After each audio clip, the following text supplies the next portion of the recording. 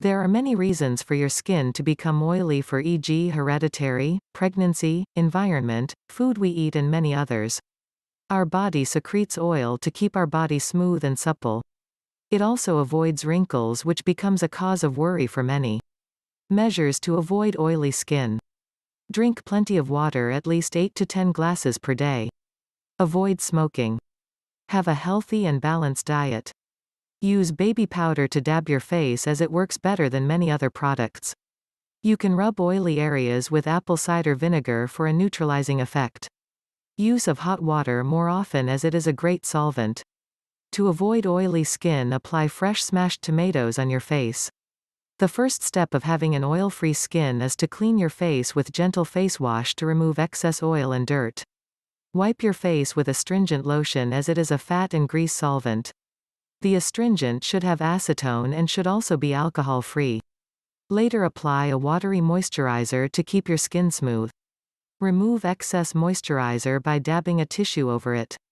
Blend 1 2 cup cooked oatmeal, 1 egg white, 1 tablespoon lemon juice and 1 2 cup mashed apple into a smooth paste. Apply this paste on your face for 15 minutes, later rinse it.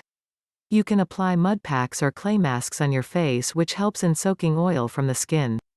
This may provide a temporary relief as the long-term effects is inconclusive. Egg mask. Blend 1 egg white, 1 teaspoon camphor spirit, 1 tablespoon skim milk powder and a drop of mint essential oil. Before applying the mask, apply odorless castor oil. Apply the mask, keep it for 15 minutes, Wash it off with warm water to be rinsed by apple cider vinegar and water, witch hazel solution.